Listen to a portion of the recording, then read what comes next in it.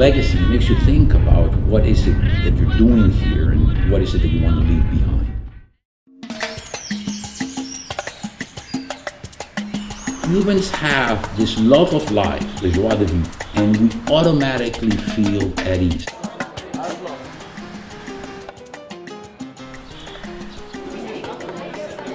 There's a feeling of being in a place that you have been before, even if you haven't been in that place before, because the people around you are in many ways similar. Their upbringings are similar.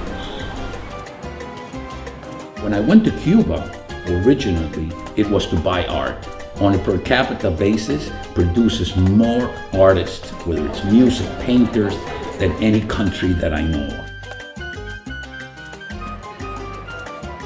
You look at Cuba and what it has to offer and the beauty of the island and the people, I mean, tourism is going to just boom. Cuba to me is home.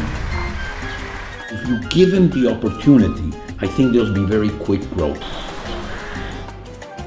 Let's look into the future of Cuba. You start trying to create a new world in which you're more open to, to ideas. I'm an urbanist, always have believed in cities, and saw the beauty of Havana. Havana is probably the most beautiful colonial city left in the whole hemisphere. I'm very proud of being Cuban. I'm very proud of the achievements of the artists. I'm very proud of the achievements of the athletes. I'm very proud, you know, of the successes they've had in the medical fields and in the educational fields.